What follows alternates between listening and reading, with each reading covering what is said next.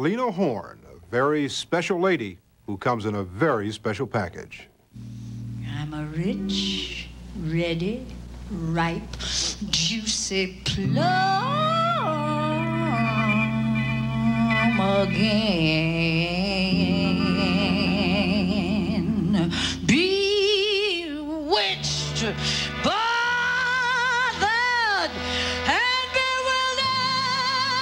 You once said somewhere you didn't want to be an older woman singing Yeah. songs about sex and all Yeah. that stuff. And I don't really, if I can avoid it Well, now. when you sing Bewitched, Bothered, and Well, but it's funny to me, don't you think so? Didn't you feel sorry for that old broad falling for that old young thing? when you say that I'm a rich, juicy, ripe plum again, Yeah, but you can't help your sexual nature, you know.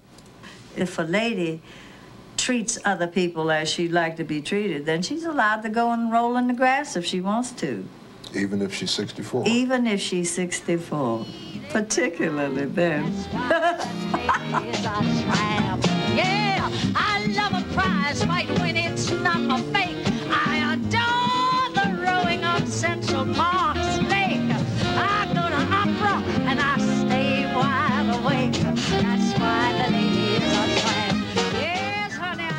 Lena Horne's path through life has been long and at times tortured.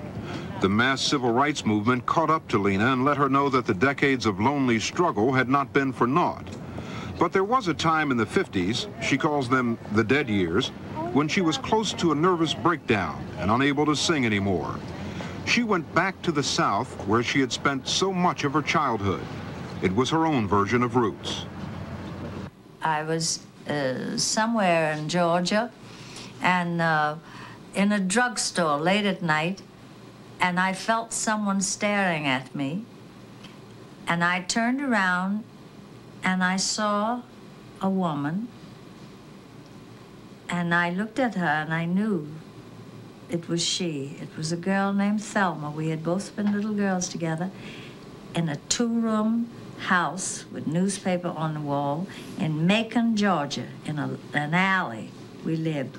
And that's where the great grandmama, she was 90 some odd years old, did her washing in a big iron pot out in the yard, and all the houses had one outside bathroom. And there was a little tiny boy who slept in the trundle bed with his grandmother, and I slept on a cot in one of the rooms. And she and her grandmother slept in the kitchen part. And I said, Thelma? And she said, Lena, and the tears came. And I was finding myself. I knew that I existed. You went home. I went home. And that helped me get through the dead years. Is it painful? Sometimes. It is at the moment, I guess. I'm sorry. But it has to bring you in the end a lot of joy. Oh, I am happy.